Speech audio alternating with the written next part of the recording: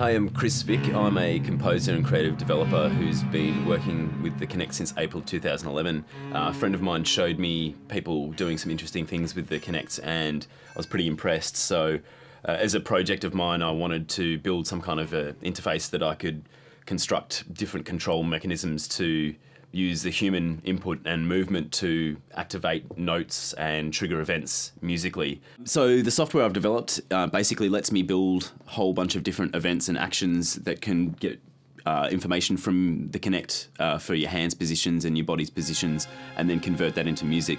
And the way that it does that is you can virtually split up the space that you move your hands in into separate zones and each one of those zones might be associated with a chord or a note or a scale or something like that. So then as you pass your hands through those zones, you can change which note or chord or scale that you're playing. In the late 90s, the Melbourne Town Hall was retrofitted with MIDI, uh, which is a digital type of message to play music with computers. And so what, what happens instead of a mechanical system being in place, it's now digital so that when you press a note on the keyboard that they've got there, it sends a MIDI note instead of a mechanical activation. Um, and the MIDI note now opens and closes the valves that let the air through the pipes to play the corresponding notes.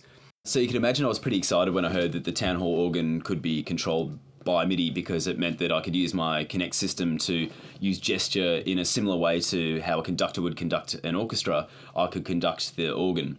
So I wrote a piece with Elise Richards, um, and she's doing the vocals on the night in the performance. And what we'll do now is show you a video of an excerpt of the performance. Um, and then if you're interested, next week I'll be releasing the full video. So make sure you check it out. Uh, here's the video.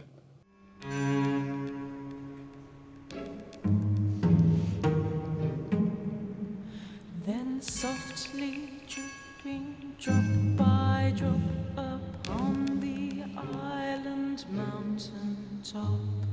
The amber nectar so divine.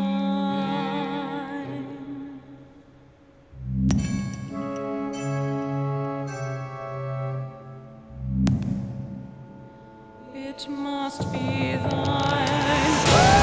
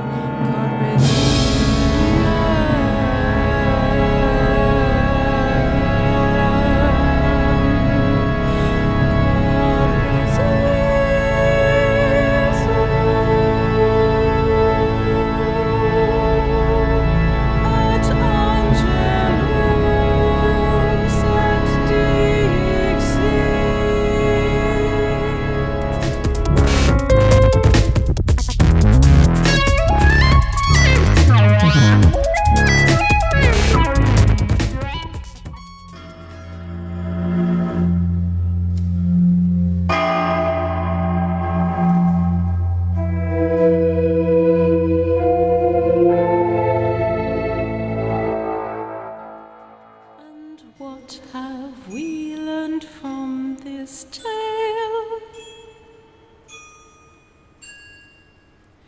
That if you